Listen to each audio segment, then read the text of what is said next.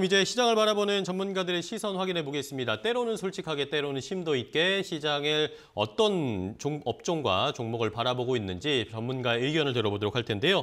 자, 오늘 실시간 증시 수단은 KB투자증권 김건진 부장과 함께 이야기 나눠보겠습니다. 부장님, 안녕하세요.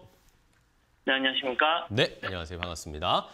자, 오늘 모처럼 만에 반도체 관련 종목들이 올라오면서 시장이 조금 반등세를 나타내고 있는데 뭐 그런 여러 쉬어가고 있는 업종 많습니다. 그중에서 또 철강주들도 최근에 많이 좀 쉬어가고 있는 양상인데 철강주들에 대한 전망 어떻게 보시는지 좀 궁금하네요.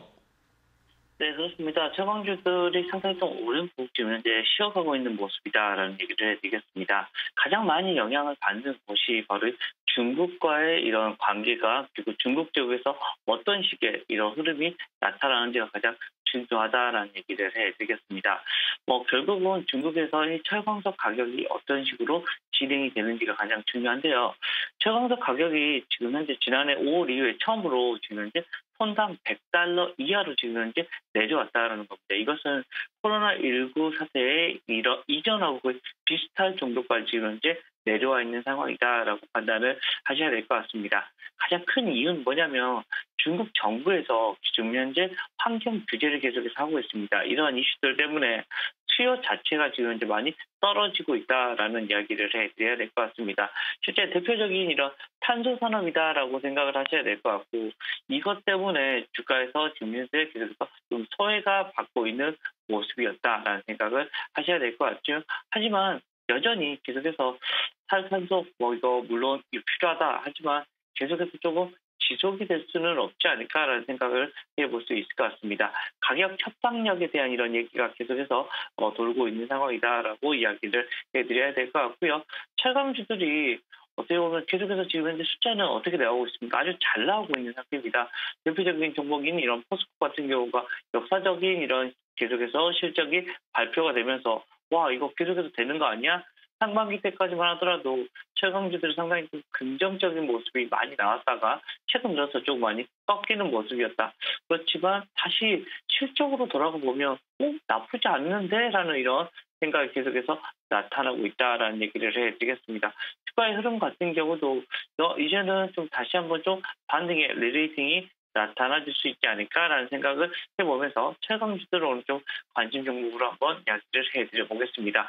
대표적인 종목 뭐죠? 아, 포스코 그리고 현대자동차, 동국제강, 뭐 알루미늄 관련된 주식들도 상당히 좀 긍정적으로 여러분들 여러분들께 이야기를 해드리도록 하겠습니다. 네, 부장님 그럼 철강주들 여러 가지 아까 뭐 말씀을 해주셨는데 그 중에서도 그래도 자 유심히 살펴보고 계신 종목 뭐가 있을까요? 어, 대표적인 종목 뭐 현대제철 얘기를 해드리겠습니다. 네네. 현대제철이 지금 현재 역사적인 지금 역사적으로 좀 낮은 어, PBR 지수에 지금 현재 나타나고 있습니다. 어, 역사적인 이런 PBR 지금 현재 0.3배 영역까지 지금 현재 낮춰져 있는 상황이니까 야 이거 말이 되나라는 생각을 할 정도로 지금 이제 싸졌다. 실제 뭐 0.5배 정도까지만 가더라도 주가가 뭐 6만 원대가 넘어갈 수 있지 않을까 생각을 할 수 있을 것 같고요. 그렇게 되면 지금에서부터 주가의 상승폭이 상당히 좀 커질 수가 있다라는 판단을 하셔야 될 것 같고 현대제철입니다. 현대는 어디다 납품을 한다? 현대차에 납품을 한다라는 겁니다. 대표적으로 그냥 계속해서 현대차에만 납품을 하고 있고 최근에 지금 현재 어, 가전 쪽도 아주 잘 되고 있죠. 가전 쪽에 대한 것은 다 내년 쪽인데요. 내년 쪽도 상당히 좀 긍정적으로 나타날 수 있고 자동차 강판이나 소강도 이런 봉용강류 같은 이런 게 계속해서 판매가 확대 중이다라는 판단을 하셔야 될 것 같습니다. 주가에 대한 흐름들도 좀더 긍정적인 모습이 나타날 수 있을 것 같고요.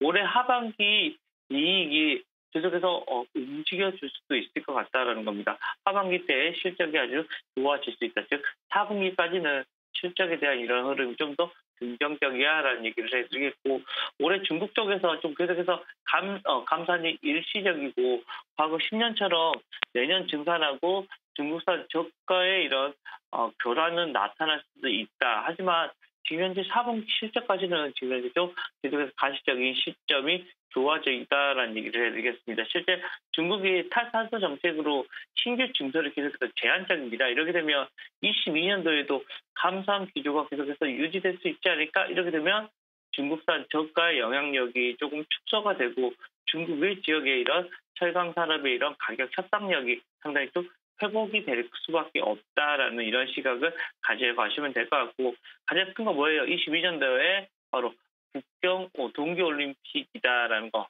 이렇게 되면 어, 올림픽 이후에 3월 이런 중국 철, 어, 철강 생산과 수출 수치가 확인된 후에도 철강 업종에 대한 이런 투자 심리가 점점 더 개선되고 이렇게 되면 현대제철이 가지고 있는 지금 현재 낮은 PBR 매력이 부각이 되면서 주가는 다시 한번 우상향될 가능성이 좀 높지 않나라는 얘기 해드리도록 하겠습니다. 네, 짜임 잘 들었습니다. 철강주 중에 현대제철 흐름을 한번 잘 살펴보도록 하겠습니다. 실적도 잘 나오고 있는데 주가는 요즘 좀 지지부진한 상황, 앞으로 흐름 어떨지 궁금한 상황이니까요. 잘 살펴보겠습니다. 자, 오늘 좋은 종목 또 좋은 이야기 해주셔서 감사하고 다음 시간에 또 뵙겠습니다. 고맙습니다. 네, 감사합니다. 네, 고맙습니다.